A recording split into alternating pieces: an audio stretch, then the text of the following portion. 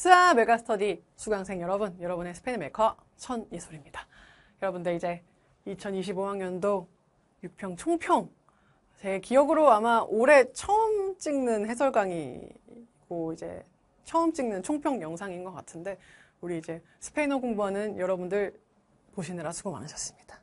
아마 이제 스페인어 공부 같은 경우가 이제 다른 과목과는 좀 다르게 이제 조금 기초가 안 잡힌 상태에서 이그 6평을 보신 분들이 굉장히 많으셨을 것 같아요. 그래서 오늘 총평 영상은 사실은 난이도 부분에 대해서 제가 좀 설명을 할 건데 어, 지금 스페인어 공부가 사실은 많이 안 돼 있는 학생분들이 되게 많으실 텐데요.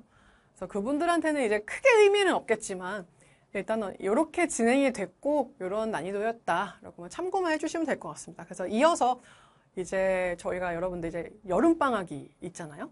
여름이 아주 매미가 아주 크게 오는 아주 그냥 어, 킹 받는 여름 여러분들 기다리고 있을 텐데 여름 방학 때 어떻게 이제 공부를 대비해야 되는지 간단하게 언급하고 넘어가겠습니다. 어, 문항별 난이도는 이렇게 돼 있는데요. 여러분들 이제 처음 아마 이 보신 분도 있고 어, 아직도 스페인어를 선택해야 될지 아니면 제1국어 선택을 지금 고민하고 계시는 분도 굉장히 많으실 거예요. 그래서 6평 보시고 나서 아, 내가 대충 느낌이 이제 9평 그리고 수능까지 제1국어 공부 쭉 하면 조금 되겠다라고 약간 결심을 할까 말까 할까 말까 하는 느낌이 좀 드실 텐데 일단은 저는 이제 제1국어 특히 스페인어 선생님이니까 스페인어 공부하라고 이제 영업을 해야 되잖아요. 어, 굉장히 쉬웠습니다. 솔직히 말하면. 스페인어 같은 경우는 수능 스페인어 같은 경우는 이렇게 총 다섯 가지 영역으로 구분됩니다. 총 30문제가 여러분들을 기다리고 있고요. 어, 첫 번째 발음과 철자인데 요거는 이제 사실은 발음 같은 경우는 5분만 개념을 알아도 바로 풀 수 있습니다. 아, 대부분 1점짜리 문제로 추가 어, 출제가 되고요. 철자 문제 같은 경우는 기초 어휘를 너 알고 있어라고 묻는 문제이기 때문에 이것도 난이도가 굉장히 쉽습니다. 아니라 다를까 이번에 또 매우 쉬웠다. 네, 오답률이 굉장히 낮았을 거라고 생각이 들고요. 어휘 문제는 제가 중간이라고 했는데 어, 원래 저 같았으면 쉬움이라 적었겠지만 학생님들 입장에서는 조금 어려웠으려나 고민이 조금 들었으려나 싶어서 중간이라고 적어놨습니다. 그래서 이번에 어휘 문제 같은 경우는 매번 그랬던 것처럼 다이어에서 출제가 됐는데 이번 6평에서는 형용사와 동사 부분에서 나왔고요. 수거가 두 개가 나왔어요. 어, 요거 같은 경우는 여러분들이 킬러 문제로 많이 나오는데요. 어휘 파트 총 세 문제 많이 나오면 네 문제까지 나오는데요. 어, 요거 같은 경우는 여러분들 사실은 수능 스페인어의 어, 특성상 창의적이거나 어, 한 번도 보지 못했거나 이런 거는 잘 나오지 않습니다. 그래서 제 강의에서 다루는 다이어, 다뤘던 수거, 다뤘던 그런 어휘들이 굉장히 많이 나오기 때문에 이번에 또 사실 그랬었죠. 오네르 동사라든지 그죠? 뭐 보기로 출제됐던 동사도, 동사들도 제가 다 다뤘던 기초 동사, 기초 형용사였다는 그래서 제 강의만 들어도 충분히 맞추실 수 있을 것 같았습니다. 네, 중간이라고 한 거는 그래도 공부 안한 친구들이 있었을, 있었을 거라고 생각이 들기 때문에 중간에 넣어놨고 회화 문제는 쉬웠습니다. 매번 반복되는 회화 문제 그죠? 보기도 비슷하고 대화문도 비슷했다. 어, 창의적인 문제는 전 못 봤습니다. 독해 다소 쉬웠다. 아주 쉬움으로 적으려다가 네, 다소 쉬웠다. 왜냐면 이제 어, 스페인어 문장 문장 보다가 이제 문단을 해석하는 거는 조금 처음에는 어려울 수 있거든요. 근데 의외로 독해 파트는 여러분들 만점이 많이 나오세요. 왜냐면 영어 독해 그, 그 짬이 있기 때문에 애지간하면 많이 안 틀리시더라고요. 그래서 이건 제가 걱정 안 하고요. 의외로 여기서 좀 많이 고전을 하셨던 것이 스페인어 문화를 물어보는 문제가 하나 있었어요. 그래서 스페인어 지리 중에 과테말라란 나라 너 어디 위치하는지 알고 있어? 를 물어보는 문제가 있었는데 여기서 이제 오답이 많이 나옵니다. 문법 문제 같은 경우는 사실상은 저희가 절대평가 이전의 문법 파트는 굉장히 좀 어려웠어요. 그래서 요거를 학생분들이 맞출 수 있었을까라고 고민이 들 정도의 그런 문제가 있었을 텐데, 있었는데, 절대 평가로 바뀌고 나서 이제 문법 문제가 굉장히 쉬워졌습니다. 에게! 헐! 이런 문제가 있었는데, 이번에도 헐! 약간 이런 문제가 많이 나왔어. 헐! 약간 헉! 어. 역구조 동사 나왔고요. 전치사, 목적대명사 혹은 유사한 동사들 의미가 비슷한 동사도 이렇게 나왔는데 요거는 이제 정말 간단하게 말하자면 스페인어 그 교과서에 1, 2, 3, 4과에 나오는 거 다 그냥 넣어놨습니다.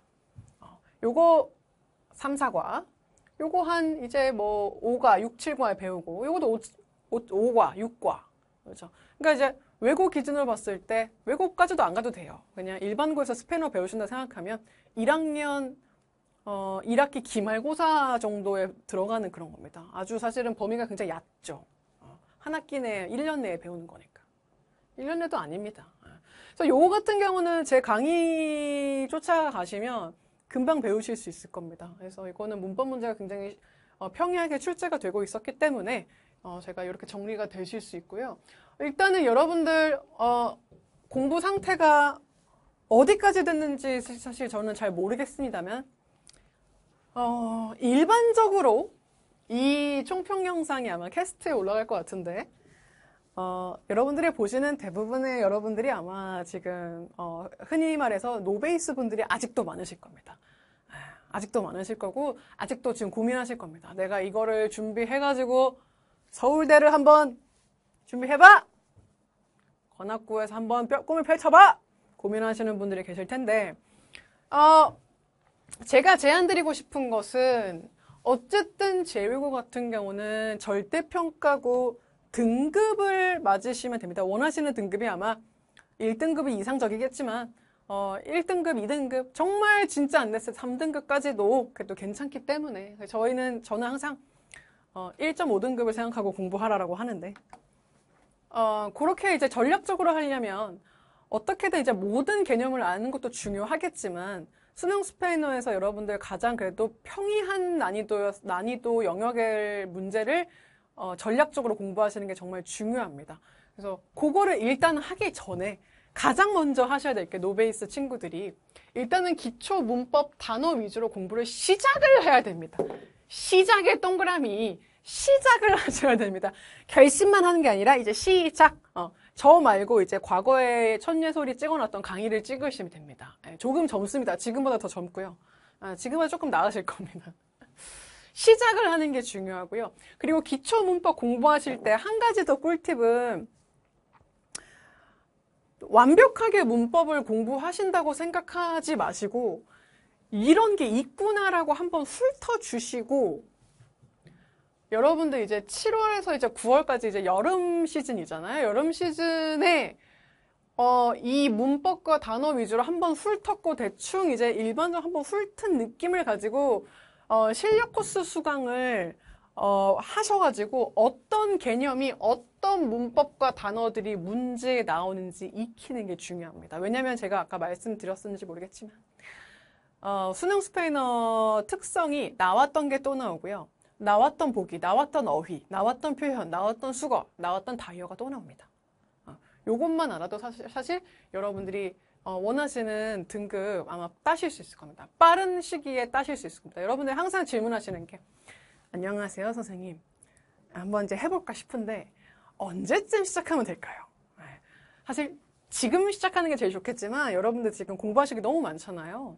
그래서 대충 제 생각에는 어, 3개월 만에 할 수 있을지는 잘 모르겠습니다만 지금 시작한다는 기준으로 이제 6월 중순부터 이제 9월 그러면은 6, 7, 8, 9월 초에 보니까 대충 3개월 동안 어 요거 공부하시고 기초 코스 수강 한번 훑으시고 이제 실력 코스 수강하시면서 9월 전에 9평 전에 여러분들 하시면 아마 여러분들 한 3, 4등급까지 나오지 않을까. 그러면 나머지 모자란 거는 이제 수능 전에 채워주시면 되니까요. 제가 아마 9월쯤에는 파이널 강좌가 올라갈 예정이니까요.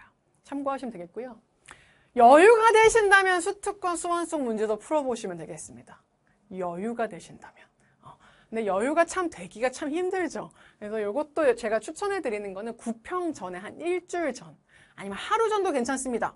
문제 위주로 딱딱딱딱 한번 보세요. 아, 오케이, 오케이, 오케이. 어, 어, 어, 아, 아, 아, 오, 오, 이렇게 한번 보시면 될 것 같습니다.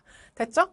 저희 여러분들, 제일고 같은 경우가 참, 아, 고민할 게, 이, 제일국어 가르치는 선생님으로서 참 고민하는 내용이 참 많습니다. 그래서 여러분들 지금 주요 과목 하시기도 참 시간도 없고 되게 스트레스 많이 받으실 텐데 최대한 스트레스 없이 효율적으로 공부할 수 있는 방법이 뭘까라고 고민한 결과가 이렇게 됐어, 된 거니까요. 여러분들 이거 참고해 주시면서 여러분들 학습 목표에 어, 스페인어 살짝 넣어보시는 것도 좀 추천해 드리겠습니다. 오늘 총평 영상은 여기까지 하겠습니다. 수고 많으셨습니다.